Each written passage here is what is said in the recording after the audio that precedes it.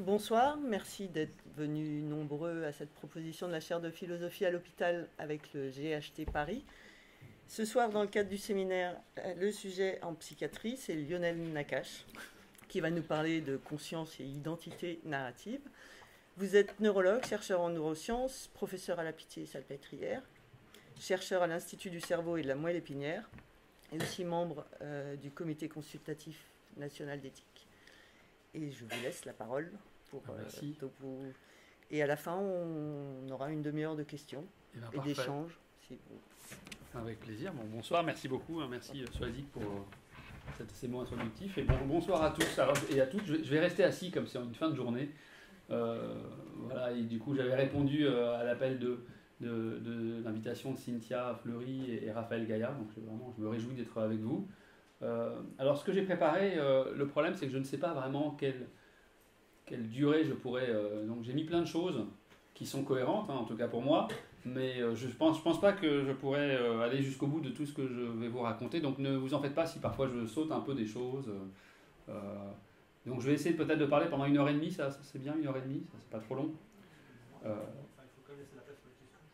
D'accord. Plutôt une heure, Alexandre? D'accord. D'accord. Très bien. Parfait. Euh, donc en réalité, oui, comme euh, le, titre un peu, un long, conscience et identité narrative. Et en fait, c'est la poursuite d'une- conférence que j'avais donnée il y a déjà quelques années, euh, la première, première version au Collège de France, autour d'un des thèmes qui est vraiment celui qui, m'intéresse le plus autour de la conscience, qui est qu'on peut appeler euh, les interprétations subjectives. Comment est-ce qu'on produit des interprétations subjectives euh, des matériaux que moi j'aime bien appeler des, fictions interprétations croyances, c'est-à-dire qu'il y a un matériau, euh, je vais revenir là-dessus, hein, que j'appelle fictionnel, non pas pour dire qu'il est faux, mais pour dire que sa valeur première c'est de faire sens subjectivement pour le sujet, et que ce matériau est souvent le sujet, l'objet, le produit, la résultante d'interprétations, de processus interprétatifs qui vont donner des significations, et que les individus vont euh, adhérer à ces interprétations avec euh, ce qu'on peut appeler une croyance subjective plus ou moins forte, plus ou moins révisable. Euh, c'est de ça en fait dont je vais essayer de vous parler. Ce n'est pas du tout abouti dans le sens où c'est un ensemble de, pistes et, d'inspiration par la clinique aussi et par l'observation de patients. Et vous allez voir qu'on va creuser notamment un tableau neuropsychologique. Je vais vous dire ça dans un instant. Alors, je sais bien que du coup, c'est un auditoire, je connais certains d'entre vous, mais qui, est, qui est censé être ouvert hein, sur, sur la cité. Donc, vous n'êtes pas tous des cliniciens ou férus à la neurologie ou à la psychiatrie. Donc, et n'hésitez pas hein, à m'arrêter euh, si c'est pas clair. euh, on est suffisamment euh, euh, peu nombreux pour pouvoir. voilà, vous me dites vraiment, n'hésitez pas. hein, c'est ça l'intérêt. Peut-être du coup en, remarque générale introductive, dans notre domaine, ce que j'appellerais la neuropsychologie, et vous allez voir que c'est vraiment aux confins de la neurologie et de la psychiatrie, l'observation des malades joue un rôle très particulier. Euh, on pourrait dire par comparaison aux autres champs de la médecine, on s'intéresse aux malades évidemment pour essayer de les aider, de les soigner, voire parfois de les guérir, mais au moins de les soigner, euh, et donc de comprendre ce qu'ils ont. Euh, et ça c'est commun à toute la médecine, mais il y a quelque chose de spécifique pour ceux ou celles d'entre vous qui ne connaissent pas vraiment ce domaine, c'est que contrairement ou bien de manière différente, je sais pas moi, les pathologies ou la pneumologie ou la cancérologie, etc., en neurologie et en psychiatrie, en neuropsychologie, eh bien en fait, l'étude des patients qui présentent des troubles de la pensée, des troubles des fonctions mentales, pour, disons, euh, eh bien non seulement euh, ça va nous permettre, leur étude va nous permettre de comprendre un peu mieux ce qu'ils ont, mais leur étude va nous permettre en général de mettre euh, au jour des propriétés de la vie mentale, on pourrait dire normale, du fonctionnement normal du cerveau et de l'esprit. Euh, et ça, c'est une propriété fondamentale. hein. Euh, vous savez tous, par exemple, que l'histoire de l'aphasie, donc l'histoire du langage, ça, on peut dire des bases cérébrales du langage, ça, débute avec l'observation des premiers patients aphasiques hein, au 19e siècle. Ça a commencé avant, mais disons les patients Broca, Wernicke, etc. Euh, et puis, euh, si vous prenez le champ de la mémoire, eh bien, c'est en étudiant les patients amnésiques euh, qu'on découvre non seulement qu'il y a des régions cérébrales qui jouent un rôle dans la mémoire, mais également que les patients qui ont perdu ce qu'on va appeler la mémoire épisodique, c'est-à-dire le je me souviens conscient, eh bien, ils continuent à avoir plein d'autres formes de mémoire qui continuent à fonctionner de manière totalement normale.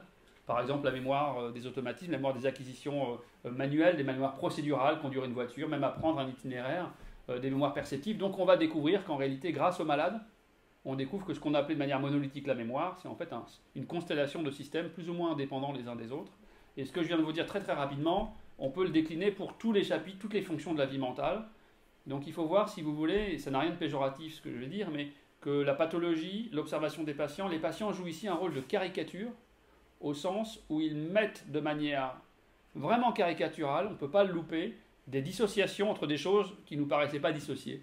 Et une fois qu'on comprend ce qui s'est passé, parce que c'est plus simple à comprendre chez le malade, on peut retester la validité de ce résultat chez des sujets qui ne sont pas malades et chez lesquels toute cette mécanique euh, est agencée de manière subtile, donc on ne voit pas tous ces aspects-là. Donc il y a cette propriété euh, qui est spécifique au domaine.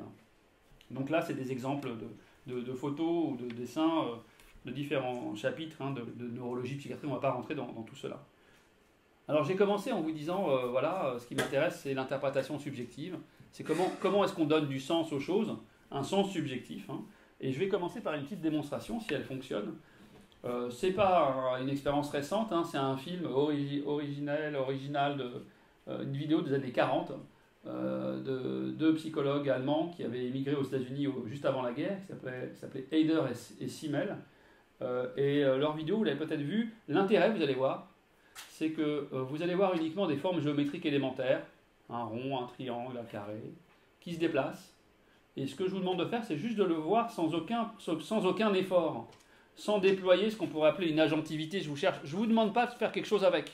Juste vous ouvrez vos regards sur le monde, vous êtes conscient et vous regardez ce qui se passe et vous allez pouvoir rapidement, en quelques secondes, euh, constater qu'une histoire se raconte en vous. vous. vous. allez produire un sens. Alors en plus il s'avère que par ce matériau, tout le monde va converger sur le même sens, mais alors que ce sont des figures élémentaires très simples, vous allez vous construire un, un, sample et vous pourrez du coup euh, observer l'émergence de ce sens.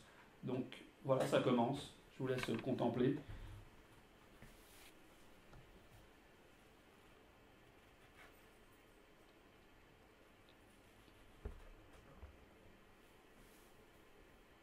Et là, si tout va bien, vous êtes déjà dans l'histoire. Êtes, et c'est pas banal. Hein. Ça veut dire qu'en réalité, vous n'avez rien à produire, aucun effort, et ça se raconte en vous. Vous avez des associations, des projections, euh, des identifications avec des personnages. On pourrait même deviner, euh, ou, en tout cas projeter une identité sexuelle, un genre sexuel. Sur, on peut imaginer les regards, les partages de regards, les intentions, les émotions, les, intentions des acteurs. Alors c'est un film des années 40, mais, il y aura une happy end, pas peur, c'est aux États-Unis. Je vous laisse jusqu'au bout quand même.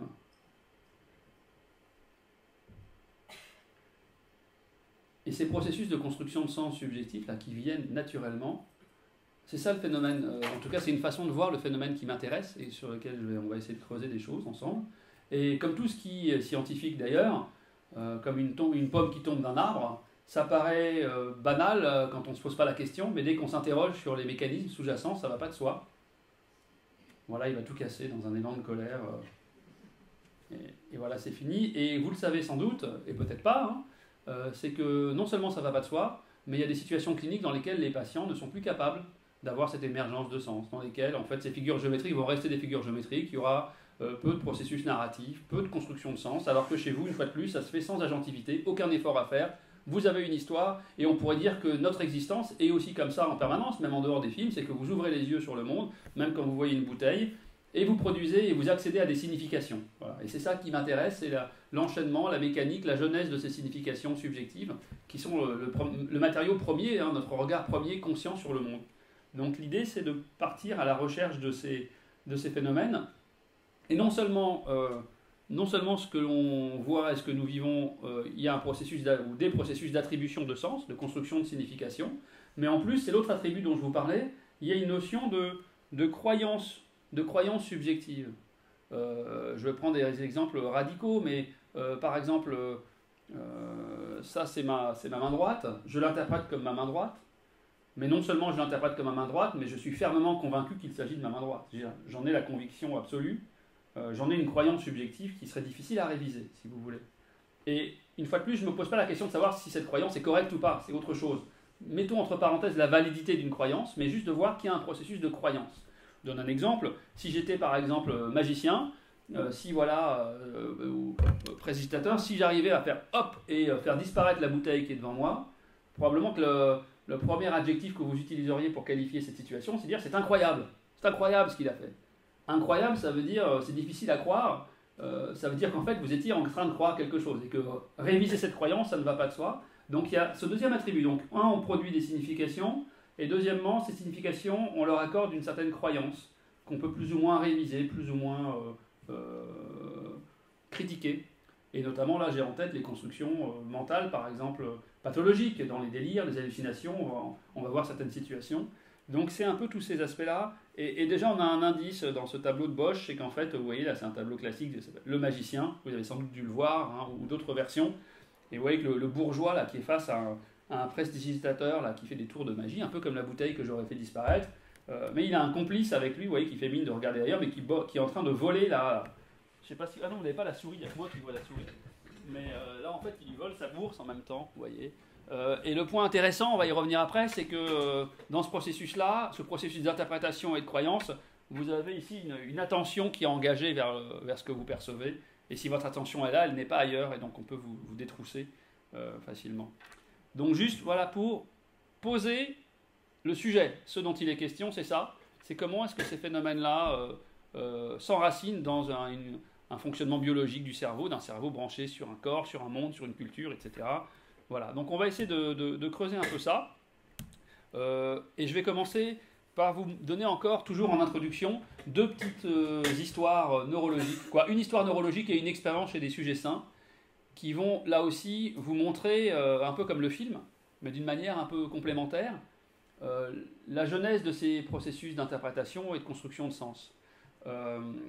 et oui, alors on peut dire ça, l'esprit a horreur du non-sens, un peu, hein, vous savez. Euh, c'est-à-dire qu'on euh, est dans des situations, euh, c'est pas un scoop, où on va très très facilement préférer, même à notre insu, produire du sens plutôt que de rester face à un néant, face à de l'inexpliqué, face à du... Gérer le néant, c'est quelque chose de très compliqué. Le non-sens, le néant psychique ou le néant d'interprétation. Alors je vais vous donner un truc très... Ce qui est intéressant dans mon domaine, c'est que au lieu d'être une sorte de livre rouge, de livre vert, ou de la couleur que vous, voulez, de grands slogans euh, idéologiques, on enracine ça dans des observations extrêmement empiriques, euh, en mettant les mains dans, le cerveau ou dans la mécanique du cerveau et, de la pensée. Alors je vais vous raconter une histoire neurologique, donc euh, peut-être lever la main ceux, qui n'ont pas de culture neurologique particulière, pour savoir, et puis c'est très bien, voilà. D'accord. Donc l'histoire qui va suivre demande une certaine concentration. pas, pas, insoluble. Hein. Et là aussi, c'est ce qui est sympathique dans mon domaine, c'est qu'on n'est pas en, théorie des cordes, en physique quantique. Ça veut dire que même si des expériences où le langage est un peu compliqué, euh, les idées derrière sont assez simples. Hein. On n'a pas un formalisme encore pour l'instant suffisamment complexe. Euh, toute, personne motivée et intéressée peut facilement comprendre les idées manipulées, ce qui n'est pas le cas dans toutes les sciences, parce que c'est encore le début. Alors, l'expérience dont il est question, c'est, vous savez que vous avez deux hémisphères, l'hémisphère gauche, l'hémisphère droit. On va dire pour aller vite que l'hémisphère gauche euh, inclut les réseaux cérébraux du langage, donc en général, quand, chez la plupart des individus, et notamment le, patient dont on va parler, donc quand vous parlez, normalement, c'est l'hémisphère gauche qui est aux commandes pour piloter la production verbale, d'accord? Mais ce qui se passe de bien, c'est que vos deux hémisphères sont connectés entre eux par un épais câblage qu'on appelle le corps calleux, qui sont les fibres des axones, la queue des neurones. Il y a des, milliards, hein, des, dizaines de milliards d'axones qui vont connecter les deux hémisphères. Donc vous avez deux hémisphères, chacun spécialisé, mais comme ils sont unifiés par ce câblage, vous avez un esprit et un cerveau, donc on a une sorte d'unification de, notre identité aussi, d'accord? Euh, Et ce qui se passe, c'est que dans certaines situations, euh, ça se fait plus beaucoup, ça se fait encore en, notamment en, neurochirurgie pédiatrique, euh, on peut des fois découper le corps calleux. On appelle ça une callosotomie en français.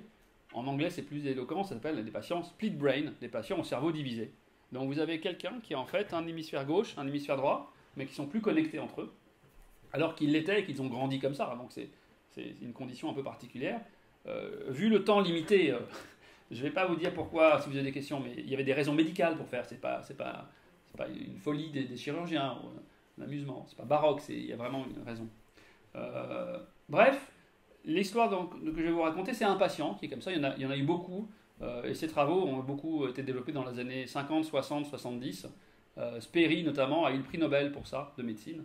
Euh, et un de ses élèves, Gazzaniga, est celui qui est l'auteur des expériences que je vais vous raconter. Donc là, l'expérience est la suivante. Vous avez un patient split brain qui parle avec son hémisphère gauche. D'accord? Et dernier ingrédient pour comprendre l'histoire, vous savez que si on vous demande de fixer droit devant vous, s'il y a un stimulus visuel sur la gauche, ça va être en fait euh, l'hémisphère droit qui va le recevoir, et inversement, normalement l'hémisphère gauche. Et quand vous avez un corps calleux, c'est pas grave, parce que même s'il y a quelque chose à, gauche et que vous fixez euh, droit devant vous, même si c'est traité à droite, ça va passer par le corps calleux en quelques millièmes de seconde. Donc l'ensemble du cerveau est informé et il y a une, intégrité, une, unification, on pourrait dire, de, cette, pensée. Et là, vous avez compris que chez les patients split brain, c'est plus possible. Donc maintenant que vous êtes armés pour comprendre l'histoire, qui sous sa forme de petite BD. Donc ça, c'est Gazzaniga, l'expérimentateur. Le patient, c'est euh, l'homme qui est debout. Il lui demande de s'asseoir face à un écran. Et puis, à un moment donné, donc il lui demande de fixer droit devant lui, et il va par exemple lui fixer, lui présenter à un moment donné euh, le verbe sortez. D'accord? Alors, si vous suivez, sortez est présenté à gauche. Donc gauche, ça va arriver dans l'hémisphère droit. La seule chose que je ne vous ai pas encore dite, c'est que si l'hémisphère gauche est celui qui a le contrôle du langage, l'hémisphère droit a quand même des capacités linguistiques verbales qui sont pas nulles. Notamment, l'hémisphère droit peut comprendre des mots d'action, des verbes, des structures syntaxiques courtes. Donc il s'avère que dans l'histoire que je vous raconte, mais il y en a beaucoup d'autres, l'hémisphère droit du patient a compris la signification de l'instruction sortez et a décidé d'obéir à la consigne. Donc a lancé un programme moteur et le patient se lève pour sortir de la pièce. Et là on arrive au moment critique, c'est qu'au moment où le patient est en train de sortir, parce que Gazzaniga a demandé au patient de sortir en lui affichant le verbe sortez, Gazzaniga fait l'ingénu, fait mine d'être étonné et dit mais, pourquoi vous sortez? Qu'est-ce qui se passe? Et il fait ce petit jeu de comédien parce qu'il sait que celui qui va lui répondre, c'est en réalité l'hémisphère gauche, celui qui parle chez le patient. Et il sait que l'hémisphère gauche n'est pas au courant de la raison pour laquelle il est en train de sortir, puisque la raison, c'est l'ordre sortez qui a été instruit uniquement à l'hémisphère droit. Et Gazzaniga sait que l'hémisphère droit, lui, est au courant, presque de mèche avec lui, mais que l'hémisphère droit ne peut pas communiquer avec l'hémisphère gauche. Donc, à travers ce petit artifice, Gazzaniga pose au patient, à l'hémisphère gauche du patient, une question à laquelle lui-même, Gazzaniga, sait que l'hémisphère gauche ne peut pas répondre. Il n'a pas la réponse. Et systématiquement dans ce genre de situation, plutôt qu'être dans une sorte de rationalisme cartésien, bah écoutez, vous me posez une très bonne question, j'ai aucune idée de l'explication de mon comportement, on pourrait faire un certain nombre d'hypothèses, le patient va produire un matériau fictif, interprétation, croyance auquel il croit. Il va dire par exemple, dans ces histoires typiques, vous pouvez les dire, euh, écoutez, je crève de soif, je vais m'acheter un coca et je reviens. Ou bien je dois m'interrompre de l'expérience parce que ma femme euh, est en bas, je dois lui donner les clés de la voiture et je remonte. N'importe quoi. Mais ce n'importe quoi n'est pas un argument d'autorité. Le patient, ce qu'il vous livre, c'est l'explication. Donc confronté à un besoin de sens, on lui dit mais pourquoi vous sortez? Euh, Sans faire aucun effort, comme vous avec le petit film tout à l'heure, eh bien il n'a aucune difficulté à produire cette explication. Et euh, ça illustre ce que je viens de vous raconter, le rôle des patients. C'est que pourquoi, comment est-ce qu'on voit que nous fabriquons du sens? Parce que quand la distance entre votre sens subjectif et les raisons réelles de votre départ, là on sait que c'est pas pour ça qu'il est sorti. Il n'est pas sorti parce qu'il doit boire un coca, il est sorti parce qu'on lui a demandé de sortir avec les mises à vue. Donc là on peut contrôler en fait l'origine un peu de l'interprétation. Et donc quand le processus interprétatif est à des années-lumière de la réalité objective, eh bien vous vous rendez compte que c'est une interprétation subjective parce qu'elle est à distance. Mais l'étape vraiment pertinente, c'est pas celle-là, c'est qu'une fois que vous avez compris ça en tant que caricature, vous pouvez à ce moment-là avancer et vous dire que même quand vos interprétations sont assez cohérentes avec le monde réel, ça reste des processus d'interprétation. C'est-à-dire des choses qui, avant tout, à vos propres yeux, sont des constructions subjectives qui sont faites pour faire sens pour vous. Et il s'avère que c'est bien, que quand ça fait sens, ça, marche à peu près bien avec la réalité. On peut imaginer que, par des processus évolutifs, euh, nos processus interprétatifs, ils sont contraints pour être à peu près fidèles à ce qui se passe, euh, pour nous permettre de survivre et, de faire quelque chose. Ça, c'est une première histoire. Alors souvent, quand on fait de la médecine, par exemple, on se dit, ben, c'est très intéressant, mais on, appelle ça un mouton à cinq pattes. Euh, ce que vous me racontez, c'est fabuleux, mais ça n'intéresse que ce malheureux patient split brain. Et, et en fait, les autres sujets euh, n'ont pas vraiment de, lien avec ça. Alors je fais, je passe non pas du coq à l'âne, mais vous allez voir une expérience euh, pour le coup euh, qui se passe cette fois-ci chez des sujets sains. Donc ce ne sont pas des patients calotomisés, des sujets qui vont bien. alors c'est une, expérience un poil sexiste, hein. mais la dimension sexiste n'a rien à l'intérêt de l'expérience, qui a été publiée dans un des plus grands journaux scientifiques, Science. Vous savez, on a deux grands journaux qui sont un peu les articles les plus les plus sexy, les plus forts, les, plus durs à publier dans ces revues, c'est Nature et Science. Et donc là, c'est le groupe de Johansson. Euh, et ce qui est assez élégant, c'est que par les temps qui courent, un papier dans Science où il n'y a pas de la technologie, etc., c'est rare. Et là, c'est juste une bonne idée, une expérience euh, subtile, euh, et il n'y a aucune technologie. Alors de quoi s'agit-il maintenant?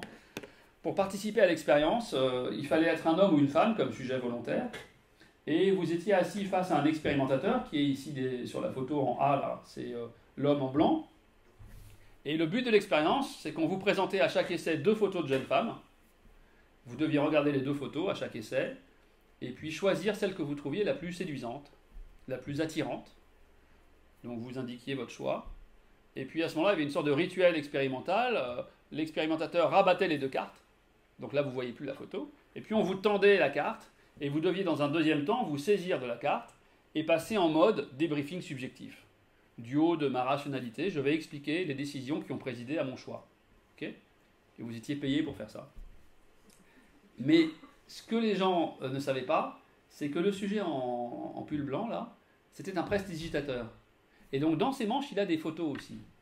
Et donc dans 10 à 15% des essais, je me souviens plus du chiffre mais je crois que c'était 15% même, si vous aviez par exemple dans l'exemple qui est présenté dans l'article, voilà, vous avez euh, une jeune femme brune, une jeune femme châtain ou blonde, et que vous avez choisi par exemple la jeune femme brune, eh bien quand on vous tendait la photo, euh, on vous tendait la photo de l'autre, celle que vous n'aviez pas choisie, celle que vous aviez rejetée. Dans...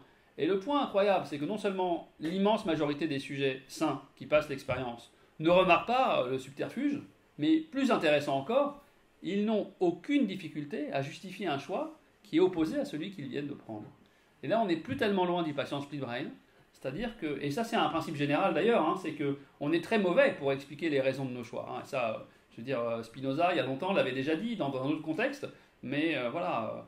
Euh, donc là, voilà une illustration aussi, un peu comme le patient split brain, une bonne façon de voir que vos explications subjectives sont avant tout des constructions, c'est quand elles entrent en opposition flagrante avec la réalité. On vous demande d'expliquer votre choix et vous expliquez un choix qui n'est pas celui que vous venez de faire. Donc cette explication est un processus euh, fictif, au sens à nouveau pas fictif parce que c'est faux, mais fictif parce qu'il est là pour, faire autre chose. Voilà, alors ça c'est un peu le point de départ. Euh, tout ça on l'a dit, voilà. Euh, donc si on se tourne maintenant vers les situations cliniques qui vont nous permettre d'explorer cette neuropsychologie des fictions, de l'interprétation, de la croyance, il faut dire qu'on est dans un domaine qu'on peut appeler un domaine de neuropsychiatrie. Hein. Vous savez qu'en France, jusqu'en 1968, l'année où toutes les barrières sont tombées, il y en a une qui s'est construite, c'est entre la neurologie et la psychiatrie. C'est quand même paradoxal. Euh, euh, j'ai jamais. Aujourd'hui, on comprend. Hein, je veux dire, parce qu'aujourd'hui, le destin d'un neurologue qui travaille dans une, stroke, unit, c'est-à-dire qui débouche des artères de cerveau de patients qui ont fait des AVC, il fait appel à une expertise et à une compétence qui est un peu loin de celle d'un pédopsychiatre euh, unicotien, etc. Donc on comprend que ce pas les mêmes métiers, quoi. Mais quand même, euh, on peut en discuter, mais je pense qu'on aura besoin d'une forme euh, de reconvergence, sous une forme ou une autre. et vous allez voir, et vous connaissez, pour ceux qui ont levé la main tout à l'heure, sans doute pas l'ensemble de ces tableaux, mais il, il doit ou il relève autant ou beaucoup, parfois beaucoup plus de la psychiatrie que, que de la neurologie, mais ils sont vraiment à l'interface. Donc il y en a plein, des confabulations, des hallucinations, etc. Je ne vais pas tous les... Mais pour vous dire qu'on pourrait décliner ce que je suis en train de vous dire sur beaucoup de chapitres différents, et moi je vais me concentrer sur un chapitre, qui est un exemple, qu'on appelle le syndrome de Capgras. Euh, Capgras, euh, euh, pour beaucoup de gens, qui ne connaît pas le syndrome de Capgras plutôt, voilà, parce que je sais qu'il y a beaucoup de gens qui le connaissent. D'accord, très bien. Donc vous, allez, vous êtes bien assis, vous allez, ça vaut la peine parce que c'est un syndrome assez assez choquant en fait et assez étonnant quand on n'en a pas entendu parler. Alors Capgras, c'est le nom des... Il y avait trois psychiatres, il y avait Capgras, Reboul et Lachaud, c'est des Français dans les années 20 qui ont décrit cette observation. L'article est en ligne hein, sur Internet, vous pouvez trouver, vous faites Capgras, euh, Reboul, Lachaud, etc. C'est un article incroyable de description sémiologique d'une patiente. Alors, euh, de quoi s'agit-il? Il, s'agit de euh, la perception de l'identité de quelqu'un. vous êtes face à des individus que vous connaissez et vous accédez à leur identité. Ah, tiens, euh, c'est mon cousin, c'est un tel, etc. Et en fait, on va voir que ce syndrome-là, c'est un syndrome dans lequel l'identification va être perturbée. Va être perturbée, alors je peux vous le dire directement, hein, pour, euh, le syndrome de Capgras, on appelle aussi le délire des sosies, il a plusieurs noms. Et en gros, pour le faire très vite, c'est que le patient ou la patiente qui a un syndrome de Capgras, face à quelqu'un qui lui est pourtant extrêmement proche, typiquement son conjoint, son enfant, ça peut être son animal de compagnie. Euh, mais quelqu'un, euh, soyons simples, euh, un conjoint, souvent c'est le conjoint. la personne en fait qui est touchée par le syndrome de Capgras n'a aucune difficulté à identifier l'apparence physique. Et en fait, c'est bien la personne qui est en face de moi a totalement vraiment l'apparence de mon épouse. Je reconnais parfaitement son visage, etc. Mais sauf que c'est pas elle. Que c'est un imposteur, c'est un sosie, c'est quelqu'un qui n'est pas elle, mais qui a pris son apparence. Et avec derrière des constructions euh, paranoïaques plus ou moins riches, plus ou moins florides, plus ou moins cohérentes. Mais le truc de base sur lequel je veux m'arrêter, c'est qu'il y a cette, intime conviction pour le patient que la personne est reconnue, elle est bien reconnue, hein, c'est pas qu'elle n'est pas reconnue, mais n'est pas identifiée comme telle. Et euh, on aimerait comprendre d'où ça vient. Alors évidemment, euh, vous pouvez faire une sorte euh, d'histoire des interprétations psychiatriques ou, neurologiques, hein, parce que et le cap grâce, vous pouvez passer au filtre de toutes les théories du fonctionnement mental, les différentes psychanalyses, tout, tout est passé pour donner une lecture. Donc on vous propose ce soir une autre grille de lecture du cap grâce, qui résistera peut-être pas non plus aux interprétations, mais qui permet peut-être d'avancer. Donc ce qu'on va essayer de comprendre, c'est de se poser la question, comment est-ce possible? Quelle est la source des données? Euh, À partir de quoi ce délire se construit? Deuxièmement, comment naît cette interprétation? Et troisièmement, euh, comment expliquer l'adhésion subjective? Pourquoi les sujets ne sont pas... Euh, pour vous donner un exemple, il peut vous arriver de croiser dans la rue un sosie. Par exemple, vous vous promenez, vous voyez Bernard, ah c'est Bernard. Et puis, vous, loin sur un trottoir, dites ah c'est Bernard, ou dans un bus. Mais immédiatement, quand vous accédez sans effort à cette interprétation, vous convoquez immédiatement toutes les autres connaissances auxquelles vous pouvez accéder consciemment. Et si vous savez que Bernard est mort depuis deux ans ou qu'il est en Australie, dites, bah non, c'est pas Bernard, c'est... Donc vous allez pouvoir euh, immédiatement effondrer votre attachement, on pourrait dire l'adhésion à cette croyance qui s'effondre, qui va être remplacée par une autre interprétation. Il y a une sorte de dynamique des interprétations. Et là, chez les patients, ils sont scotchés, ils n'arrivent pas à sortir. Une sorte d'idée fixe, euh, ils, ont beaucoup de mal à sortir de ça. Euh, ces patients sont, c'est heureusement très rare, en fait, c'est très rare dans, les formes euh, classiques. C'est un peu plus fréquent si vous vous intéressez aux patients qui ont des maladies neurodégénératives, dans les formes sévères, euh, par exemple de maladie des corps de Lévy, ou de maladie d'Alzheimer, ou de forme frontale de maladie d'Alzheimer, etc. Si vous, si vous interrogez bien les patients, vous allez très souvent voir qu'il y a des formes capgrassoïdes. Il y a quelqu'un qui va vous dire, vous savez, en fait, il y a deux femmes à la maison, il me dit qu'il y a deux femmes, il y a moi et une autre, euh, et l'autre, elle n'est pas sympa, etc. Euh, et donc vous allez parfois trouver des formes. Donc il y en a sans doute plus qu'on imagine, mais dans ce qu'on appelle les lésions focales, une lésion, le cap c'est très rare après un AVC ou un truc d'avant. On, on va revenir là-dessus tout à l'heure. Alors comment on peut rentrer dans cette mécanique De la manière suivante? C'est un cerveau de profil. Vous avez l'avant du cerveau euh, qui est ici à gauche, avec le, lobe frontal qui est derrière le front. Et puis à l'arrière de la tête, vous avez donc euh, l'occiput, et donc c'est le cortex occipital qui est juste en avant de l'arrière de la tête. Et il s'avère hein, euh, que quand vous regardez le monde, euh, par un chemin un peu complexe des voies visuelles, depuis les rétines, la première région du cortex qui va recevoir les images visuelles, les images de la rétine, traitées par d'autres régions intermédiaires, ce n'est pas euh, ce qui est juste derrière les yeux, on pourrait imaginer hein, le cortex frontal, mais c'est tout à l'arrière, c'est le cortex occipital. Donc quand vous ouvrez les yeux, les premières régions qui vont traiter la vision, c'est inscrit ici visual cortex, à l'arrière du cerveau. Et en fait, on a pu, là je vous synthétise 40 euh, ans de recherche sur la perception des visages. Quand on perçoit un visage, euh, eh bien, depuis ce point de départ de l'information dans le cortex visuel primaire, vous avez deux voies visuelles qui, communiquent entre elles. Vous avez deux traitements, deux voies parallèles l'une à l'autre. Une voie qu'on appelle la voie ventrale, qui est en rouge ici, qui va sur la face inférieure du lobe temporal. On s'en fiche un peu de l'anatomie. Hein, Ah, vous n'avez pas de rouge. J'ai vu, en voyant, voilà, j'ai vu, euh, vous savez qu'on suit. tout de suite, d'abord, première interprétation, ils sont bizarres. Je dis rouge et et il fronce les sourcils. Ah oui, peut-être que le rouge n'est pas à l'écran. Donc là, c'est du rouge. Hein. Sur mon écran. Donc cette voie noire ici, c'est euh, la voie ventrale qui passe par le cortex occipital la face inférieure du lobe temporal. Et vous avez une autre voie qui passe par, on appelle ça la voie dorsale, qui passe par le lobe pariétal notamment et qui va projeter en avant. Et pour aller très vite, ce qu'on sait maintenant, c'est que, euh, voilà, vous avez Mickey qui voit Minnie. Eh bien, en réalité, euh, pour être un peu schématique, la voie ventrale, donc la voie qui est ici en noir, c'est la voie qui est importante pour identifier le visage. C'est le visage de qui D'accord? Et cette voie ventrale, de manière générale, dans la vision, c'est une voie qu'on l'appelle en anglais the what pathway, la voie du quoi, parce que c'est une voie assez complexe qui permet d'identifier les objets de la scène visuelle.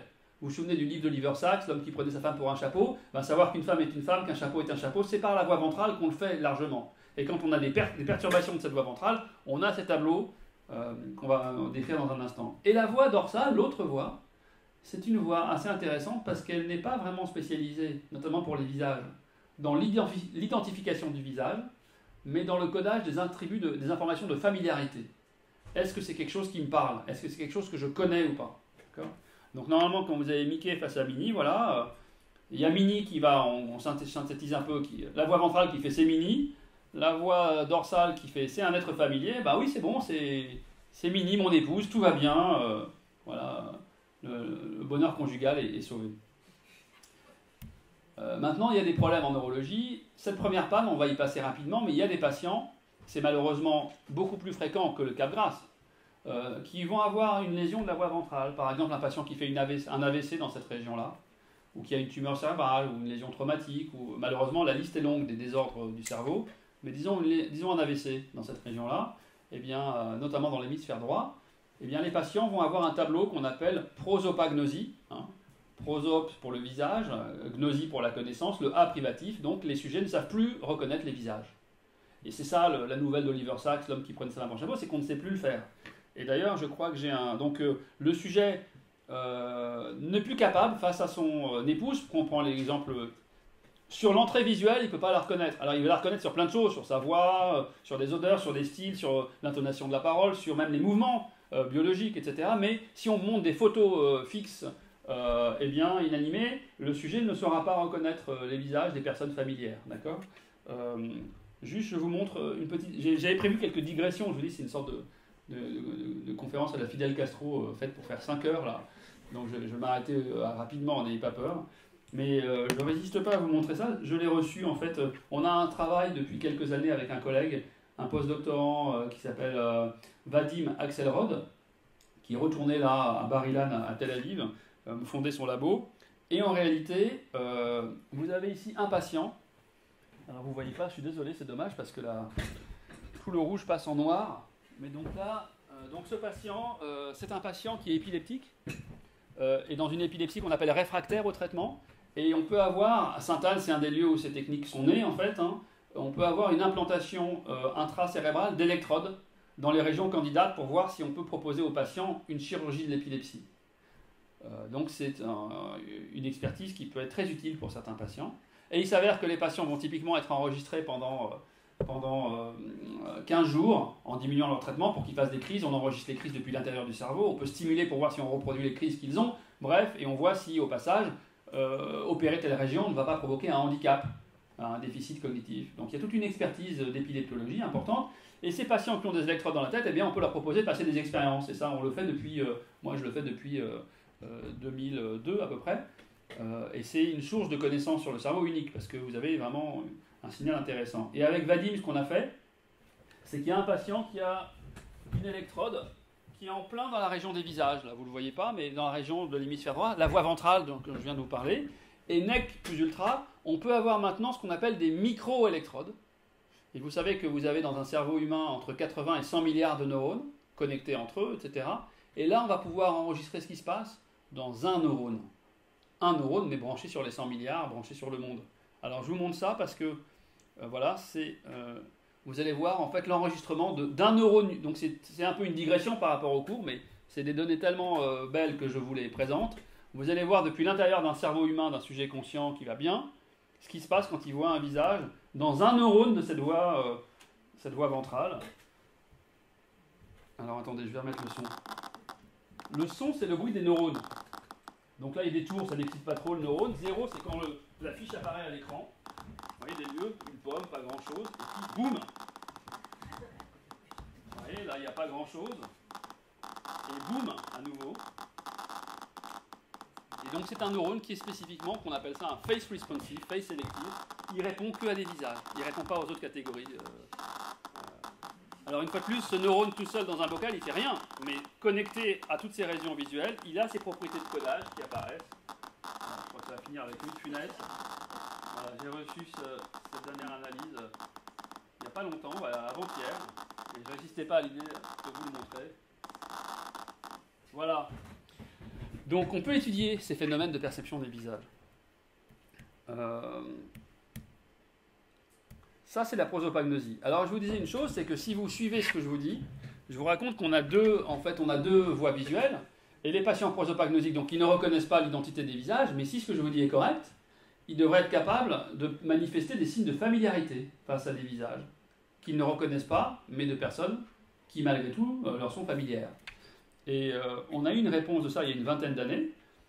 Vous mettez des électrodes sur la main et en fait, euh, euh, quand vous avez, il y, a, des dialogues permanents entre le cerveau et le corps, hein, à travers le système nerveux végétatif.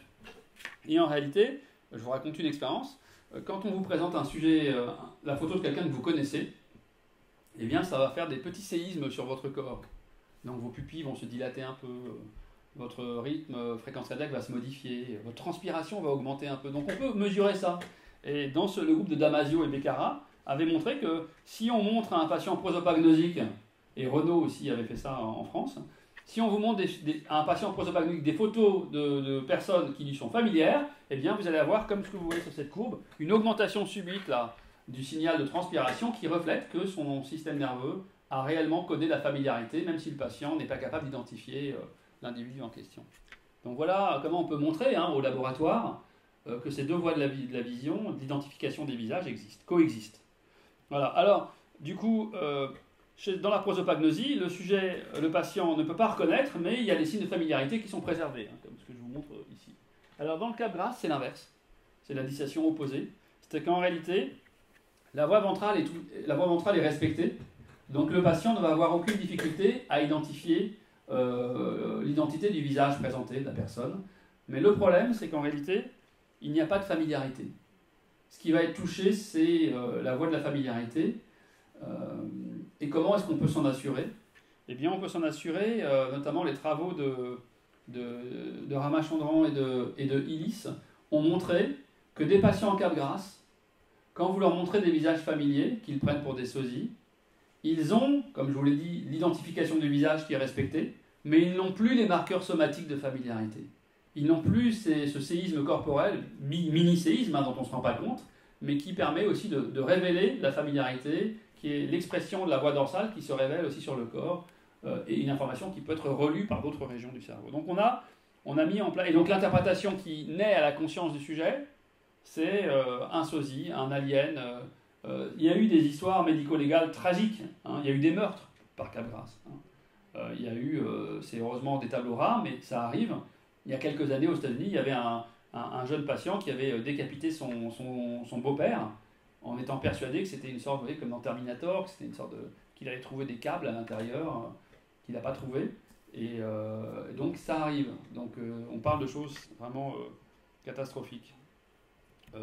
et d'ailleurs, dans, dans ces aspects-là de, de Cap-Grasse, on peut avoir aussi à, l'autre extrémité du spectre, hein, mais je vous raconte ça, ça peut paraître amusant, mais c'est authentique. C'est un collègue un, neurologue en fait marseillais qui m'a raconté ça, euh, qui m'a raconté qu'en réalité son épouse, donc une femme qui vient voir ce neurologue, Michel Conseil, qui lui raconte en fait euh, qu'elle a un problème, que son mari a sans doute un problème, euh, qu'il la prend pour une autre, mais qui lui fait des avances. Et donc elle avait presque une sorte de, dilemme de morale si elle pouvait tromper son mari avec elle-même. C'était ça l'histoire, c'est qu'en fait ça peut vraiment une sorte presque de, de théâtre de boulevard, mais on parle, c'est ça. Euh, et il y a un roman, je vous donnerai à la fin, mais vous l'avez peut-être lu, il y a un roman remarquable sur le Cap Grasse, euh, que je, dont le, un roman américain qui est fabuleux, euh, et qui montre à quel point ce qui se passe quand vous rencontrez des patients qui ont un Cap Grasse, c'est comment ça va entraîner une sorte de, de désorganisation euh, existentielle chez les conjoints. Ça veut dire, euh, le patient, c'est un drame, mais pour celui qui est vécu comme un sosie, c'est euh, tout sauf simple, évidemment. Donc, je, vous en reparlerai. Alors voilà.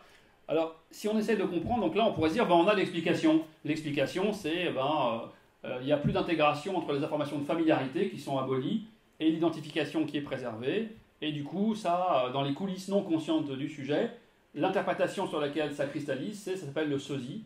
Parce que localement, c'est une bonne explication. Hein, quelque chose qui ressemble à quelque chose mais qui ne l'est pas, eh bien, ça s'appelle une, imitation, une sorte de Canada Dry du. Voilà. c'est pour les gens les plus vieux, il y avait une pub Canada Dry, c'est pour ça.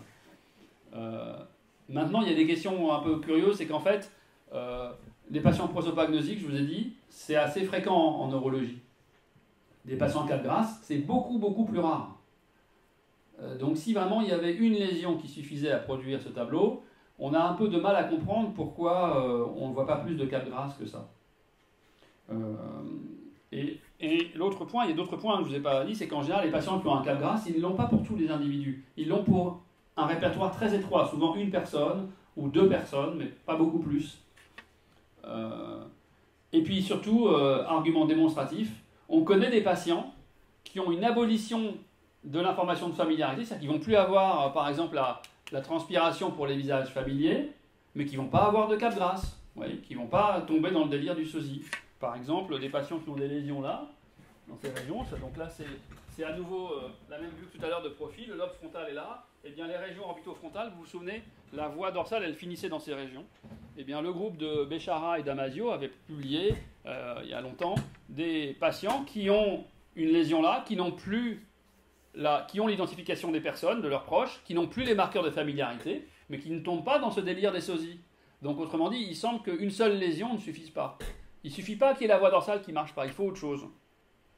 Euh, euh, et d'ailleurs, euh, j'avais observé une patiente que je suis toujours qui, a, qui avait des lésions dans ce tableau-là, mais je vais, pas, je vais passer là-dessus pour, qu'on reste dans, cette unité de, traitement là, de ces deux voies. Donc il y a une case manquante, et cette case manquante, on l'a trouvée, en tout cas on pense l'avoir trouvée récemment, c'est que si vous prenez les patients qui ont des tableaux comme le cap grasse ou des tableaux psychiatriques ou neurologiques qui y ressemblent, d'accord euh, ce qu'on appelle des paramnésies réduplicatives. Il y a tout un ensemble de tableaux qui ressemblent à un sosie. C'est-à-dire le sosie, c'est pas nécessairement le sosie d'une personne, ça peut être le sosie d'un lieu.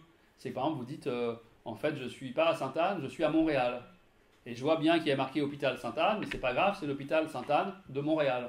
Et vous êtes sûr qu'il y en a deux, etc. Donc quand, quand, on collige toutes ces observations, où il y a toujours cette notion d'un sosie, d'une réplication de l'individu ou du lieu, eh bien vous tombez sur le fait qu'il y a en plus du problème de la dissociation familiarité-identification qu'on vient de voir, il y a aussi un problème dans une autre région du cerveau qui est le lobe frontal, et notamment dans l'hémisphère droit, et dans une région euh, qui a été proposée comme jouant un rôle important dans l'élaboration du sens critique.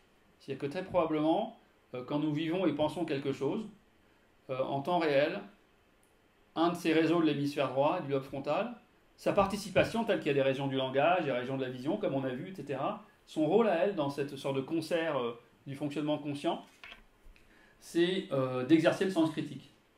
De pouvoir en réalité envoyer des signaux d'alerte quand ce que vous êtes en train de vivre n'est pas très crédible. Euh, Je fais une toute petite digression. il s'avère que dans le rêve, par exemple dans le sommeil dit paradoxal, l'essentiel des rêves surviennent dans cette période, eh bien les sujets sont conscients au sens où ils se rapportent des expériences conscientes, etc. Mais une des propriétés du rêve, c'est que dans l'expérience onirique, euh, nous sommes capables de tenir pour vrai des situations que nous euh, disqualifierons immédiatement dans la vie réelle. Si en étant assis, euh, en vous parlant et en observant que l'identité sexuelle d'un individu change, je vous parlais à un homme et ça devient une femme, ou que vous êtes là et deux secondes après on est sur une plage, vous allez dire, il y a un truc, c'est pas possible. Et dans nos rêves, en général, sauf dans des périodes vraiment très rares de rêves lucides, en général, on n'a aucun problème. Donc, on a du mal à exercer ce sens critique. Et ce qui est intéressant, c'est qu'en imagerie cérébrale fonctionnelle, un des résultats qui semble reproduit par beaucoup d'équipes, c'est que pendant le rêve, ces régions de l'hémisphère euh, du lobe frontal, notamment à droite, sont un peu, un peu mises en jachère, un peu en repos. Euh, et c'est peut-être ça aussi la base de, de cette moindre, euh, moindre exercice du sens critique qui permet aussi d'explorer des choses moins contraintes. Il y a aussi un intérêt à hein, pouvoir penser hors de, nos, nos, contraintes. Donc en tout cas là, on arrive sur une, une hypothèse, c'est que pour avoir un cap grâce, il faut deux problèmes. Et euh, ce modèle, c'est un modèle euh, vraiment euh, important qui a été notamment proposé par un chercheur australien très original qui s'appelle Max Colthart. Et il appelle ça, et il propose, il étend ce que je vais vous raconter là au délire en général. Il pense que pour délirer, il faut deux pannes dans le cerveau et dans l'esprit. À chaque fois, une panne de premier niveau qui va être ici, on va dire la mécanique un peu propre au visage, l'identification marche, la familiarité marche pas mais que s'il n'y a que ça, vous n'allez pas tomber nécessairement dans une construction délirante, parce que vous pourrez exercer votre sens critique. Bah, bah non, c'est pas, c'est pas un sosie, euh, voilà, il n'y a, pas deux personnes dans l'appartement, que, ça tient pas debout, etc. Euh, et donc il faut un deuxième problème, et ce deuxième problème, ça serait le dysfonctionnement de cette région. Et ce qui est très intéressant, c'est qu'en fait, quand vous prenez cette hypothèse du, délire, hein, ça s'appelle le modèle à deux niveaux, la théorie à deux niveaux, euh, je ne vais pas la développer ce soir, et il y a des gens beaucoup plus compétents que moi pour en parler, mais elle me semble receler un pouvoir explicatif de beaucoup de situations cliniques. Et si j'en donne une seule, par exemple, euh, les personnes qui vieillissent un peu, qui voient un peu mal, par des cataractes et tout, ils vont avoir un tableau qu'on appelle le syndrome de Charles Bonnet. Et vous allez commencer euh, euh, à voir des personnages qui déambulent devant vous avec une critique plus ou moins bonne. Et en réalité, chaque fois qu'on explore ces patients, ils ont deux problèmes. Ils ont certes le problème de la cataracte, mais le versant vieillissement va en général avec un affaiblissement des fonctions frontales, des fonctions exécutives de ces régions-là. Donc on a vraiment l'impression que pour délirer, il faut, plusieurs pannes, quoi, plusieurs, donc, euh, il y a plein de choses que je ne vais pas dire, mais par exemple, en France, il y a une distinction très précieuse euh, entre, qui n'existe pas, je crois, à ma connaissance, dans la nosologie psychiatrique, par exemple anglo-saxonne, entre l'hallucination et l'hallucinose, euh, qui est fondée sur le degré d'adhérence subjective au contenu produit. Je ne vais pas développer, mais ça, ça peut être un point intéressant. Tout ça, je ne vais pas le développer. Voilà. Donc, on a un peu un, scénario, hein, déjà. Je vous propose un scénario explicatif du Cap Grasse pour avoir ce problème de l'identification. Donc, de cette narrativité perturbée dans l'aspect le plus élémentaire. Excusez-moi, j'ai pas dit une chose de base. C'est que, c'est que ça parle de narrativité, le titre de ce dont je vous parle. Pourquoi? Parce que je pense que la brique élémentaire de la narrativité, j'aurais peut-être dû commencer par ça, mais la brique élémentaire de toute narrativité, c'est ces interprétations premières, fugitives, qui sont déjà une construction de sens. Et puis ensuite, quand on les enchasse et qu'on joue avec, on peut produire des choses beaucoup plus complexes. Même une image de qui on est, une histoire de soi, une autobiographie, tout ce que vous voulez. Mais la narrativité, pour moi, elle s'enracine. La brique élémentaire, c'est ça. Si vous ouvrez les yeux sur le monde et vous avez du sens, qui est votre sens à vous, qui peut être partagé, qui peut être différent, qui peut être... mais en tout cas, c'est celui auquel vous vous croyez, auquel vous adhérez. Et cette, la dynamique de ces interprétations, c'est pour moi le schéma de base de la narrativité. Maintenant, ensuite, on peut déployer ça différemment. Donc, pour le cas de on dirait premièrement, il faut la panne de niveau 1. Et là, votre système qui est intéressant, qui est capable de manière non consciente, c'est-à-dire sans que vous soyez vous-même capable subjectivement de rapporter à la première personne ce qui se passe, sans faire un effort d'agentivité comme vous devant le film tout à l'heure, eh bien le système qui va recevoir les informations contradictoires, c'est euh, mon épouse et il n'y a aucune familiarité, dans la sphère limitée de ses connaissances, il va produire une explication qui s'appelle un sosie. Et cette explication, vous en prenez conscience en à peu près 3 dixièmes de seconde, et soit vous la gardez, soit vous la disqualifiez. Quand vous la disqualifiez, ben, vous n'êtes pas dans le délire du sosie, et vous allez pouvoir vous dire, mais non, parce que dès que vous prenez conscience de cette information, on utilise souvent une approche mathématique qu'on appelle bayésienne, des probabilités conditionnelles. Qui veut dire, en gros, quelle est la probabilité de, voir ça, sachant que je sais cela? Dans le niveau de connaissance très délimité des régions qui fonctionnent de manière non consciente et qui ne peuvent pas communiquer avec toutes les autres, eh bien cette hypothèse, elle est très crédible. Elle fait vraiment sens. C'est sans doute la meilleure hypothèse. Mais dès lors que vous prenez conscience de ça et que vous pouvez mettre en relation cette interprétation avec une myriade d'autres connaissances que vous avez sur la situation, sur la personne, sur l'environnement, eh bien, immédiatement, elle va s'effondrer, la probabilité conditionnelle de cet événement, et elle va être remplacée par autre chose. Et on peut le faire, et on a des collègues, Alexandre en fait partie, et d'autres, euh, qui peuvent modéliser la dynamique de, euh, des probabilités conditionnelles de nos objets mentaux. Et c'est très intéressant de voir comment la prise de conscience d'une information s'accompagne d'un chamboulement de ces probabilités euh, euh, bayésiennes liées au fait que vous allez intégrer une autre réalité qui va effondrer ou renforcer l'interprétation. Et vous comprenez que dans cette dynamique probabiliste subjective, eh bien, ce cortex préfrontal droit dont j'ai parlé, s'il est lésé, vous n'êtes plus capable de réfuter cette première interprétation, vous allez être scotché. Et ne plus. Euh, voilà, c'est ce qu'il y a indiqué ici. Voilà. Alors, il y a plein d'autres choses que j'aimerais vous développer, que je ne vais pas faire. on va les garder pour les questions. Voilà. Euh, je vais faire, je terminer, je prends juste 10 minutes encore Alexandre, ça, ça te va? Un quart d'heure, voilà, on a commencé à 10. Euh, euh, tout ça, je vais passer là-dessus. et je vais vous raconter autre chose qui, d'après moi, peut vous intéresser aussi. Qui a un lien, ça, je vais présenter des choses, je vais, je vais passer. Et je vais arriver à ça, voilà. une des idées importantes, d'après moi, c'est que si on met en place... non, je vous en prie. Et, du, coup, en fait, on a parlé en fait du, du fait qu'il y a des. Il y a une dynamique, un peu, j'ai commencé à l'introduire. Ça, ça vous embête pas de le sortir? Merci. Donc il y a une dynamique entre des phénomènes mentaux qui sont conscients, qu'on peut se rapporter en première personne, et d'autres qui ne le sont pas. Hein. Euh, et euh, un des thèmes qui, moi, m'intéresse beaucoup, c'est qu'il y a des interactions très subtiles entre les aspects conscients et non conscients. Alors cette subtilité, euh, on peut la relire aujourd'hui de manière différente, d'un cadre psychanalytique, etc. Euh, et on peut discuter de ça.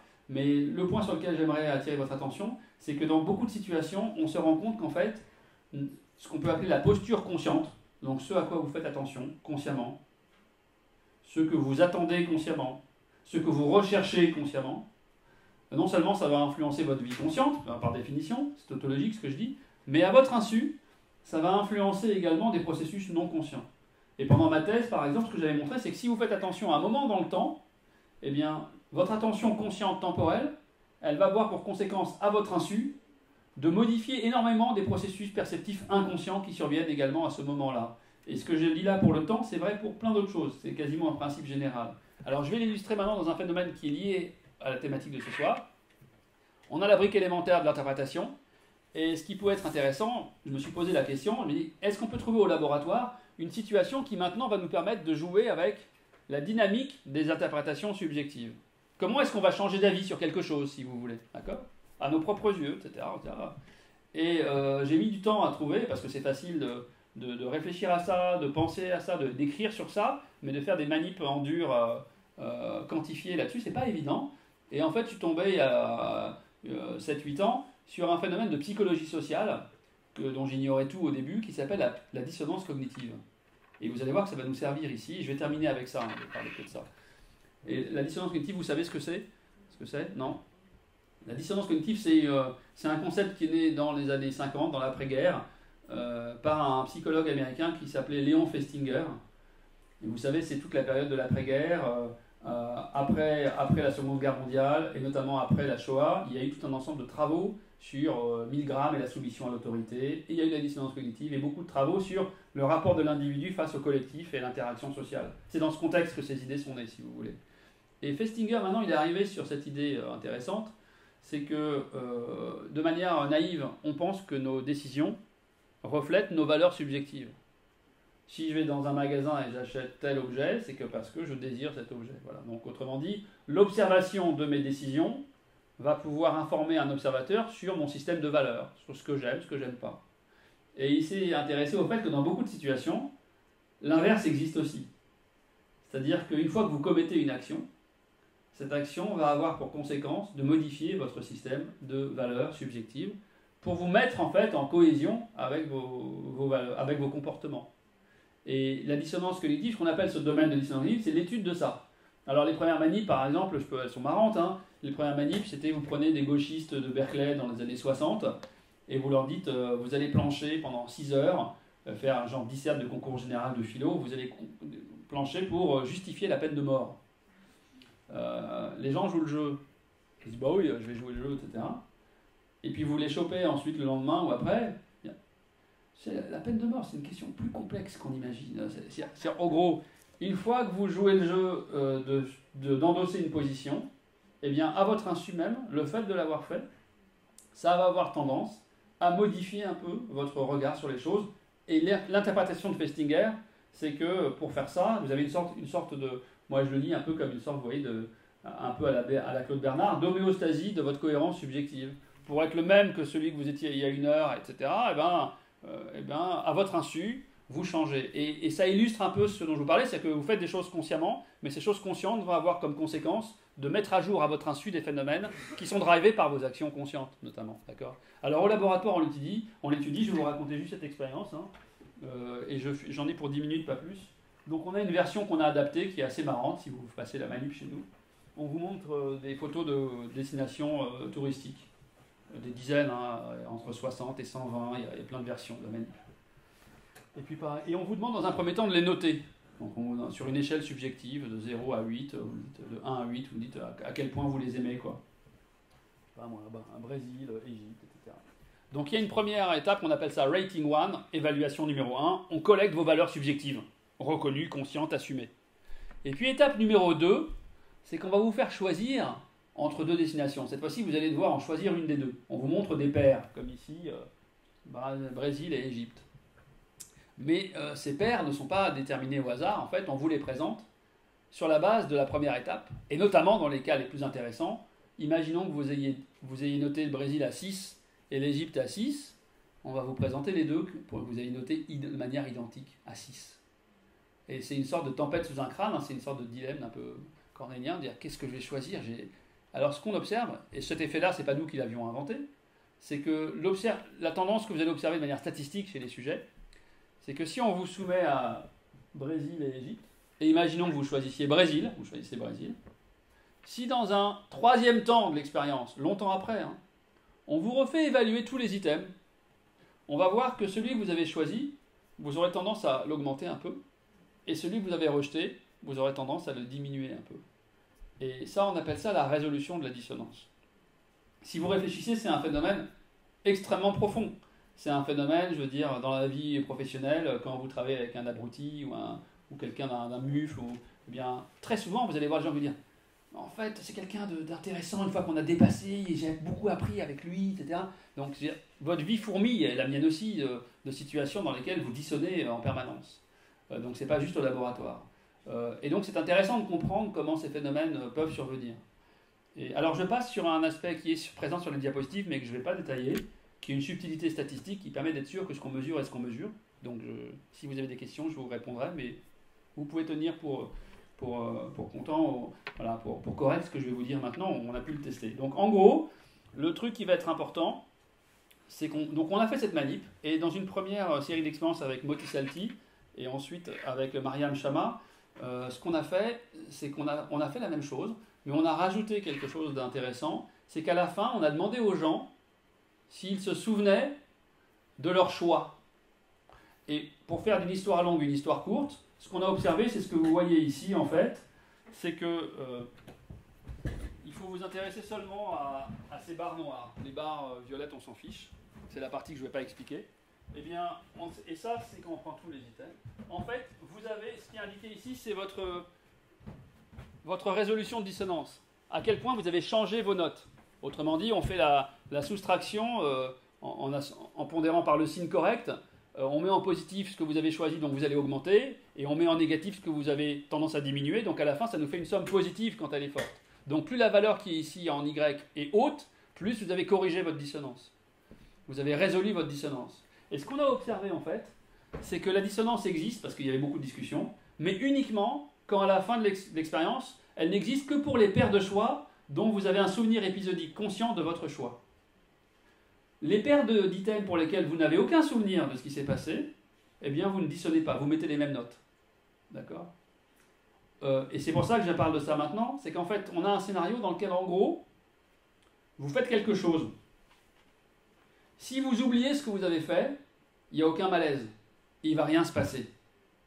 Mais si vous vous souvenez de ce que vous avez fait, de manière consciente, à votre insu, influence consciente sur des processus inconscients, vous allez déclencher ce phénomène dont vous n'êtes pas l'agent. Hein. C'est pas vous qui vous dites ah je vais monter un peu, je vais descendre un peu.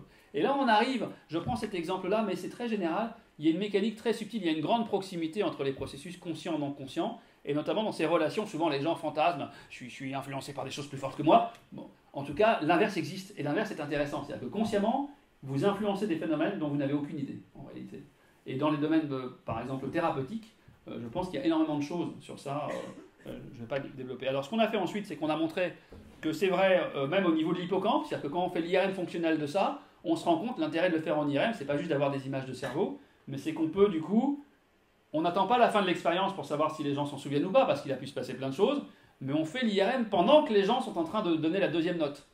Et on voit qu'en fait, euh, ce qu'on a observé dans le comportement, eh bien cet effet est modulé et corrélé à une modulation du signal de l'hippocampe. C'est-à-dire c'est uniquement quand vos hippocampes semble vraiment rappeler en mémoire au moment du, de l'évaluation 2 votre choix précédent que vous avez cette résolution. Et quand il n'y a pas cet effet, ben, vous n'avez pas de résolution. On a été plus loin.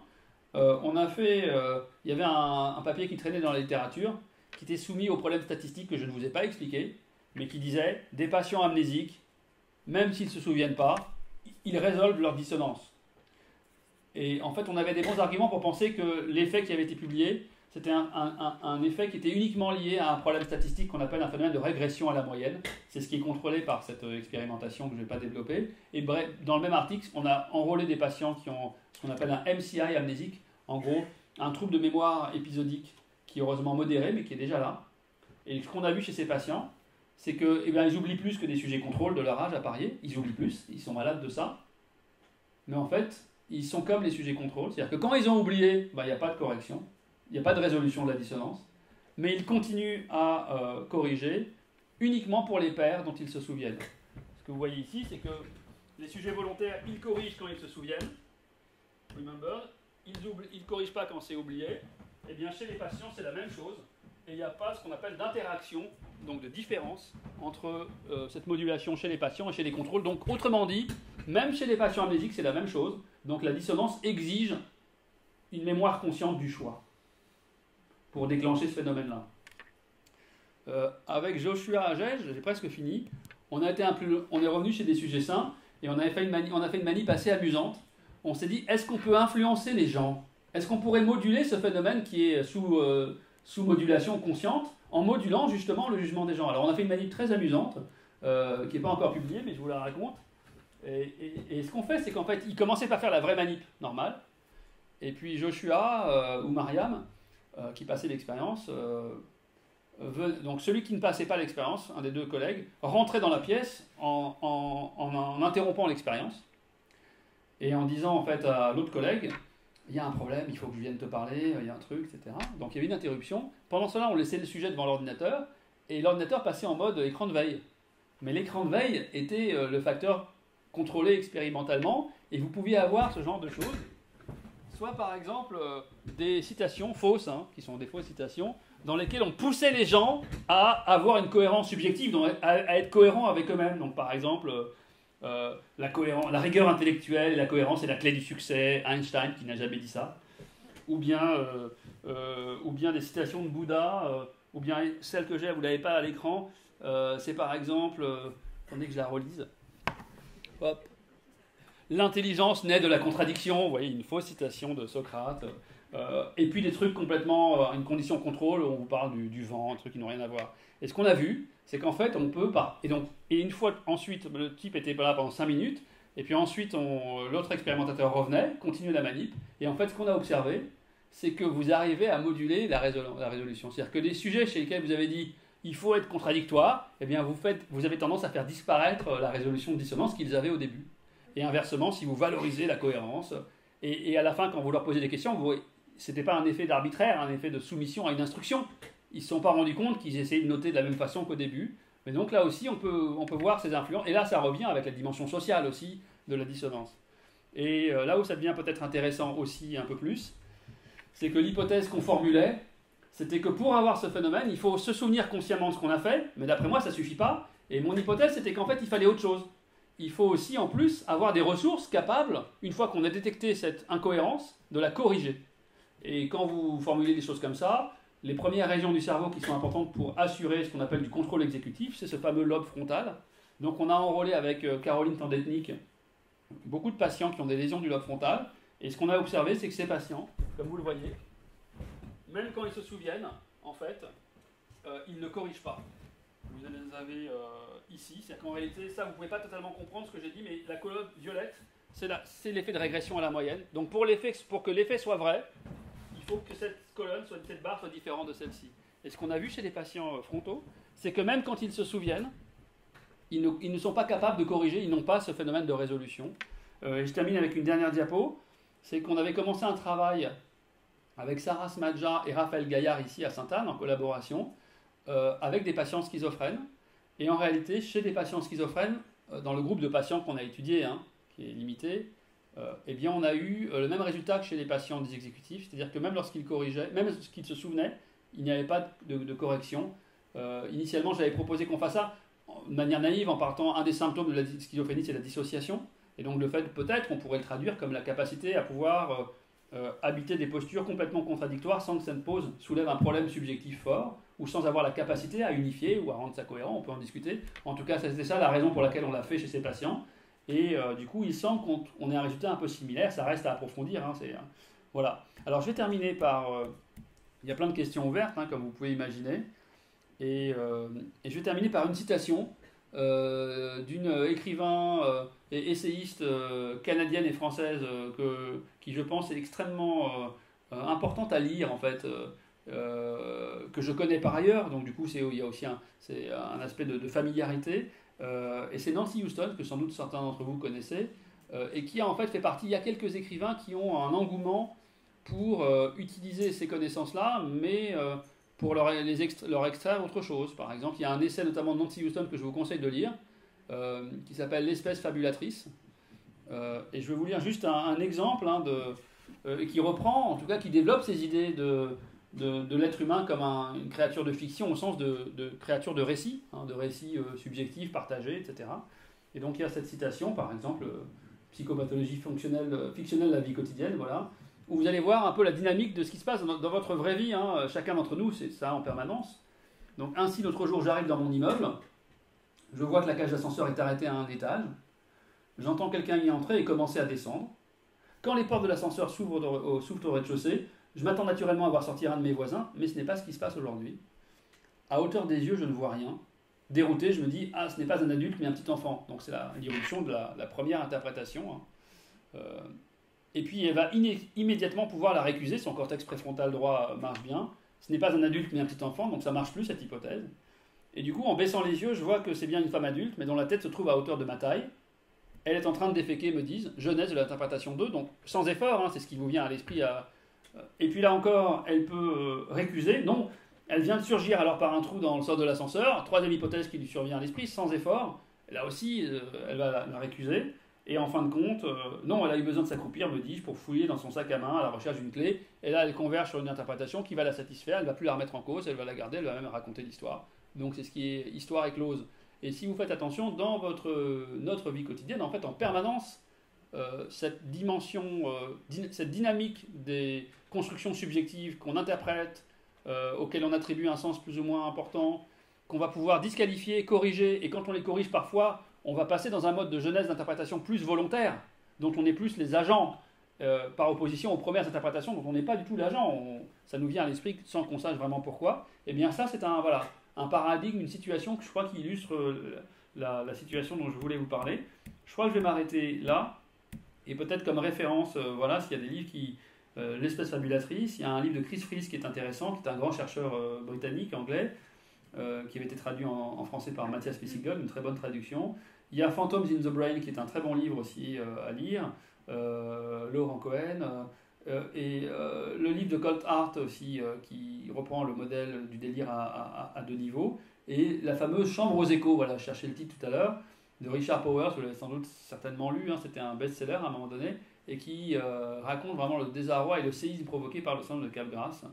Euh, voilà, et puis je vais m'arrêter là, comme ça on peut discuter. Hein, voilà. Merci pour de votre, de votre attention.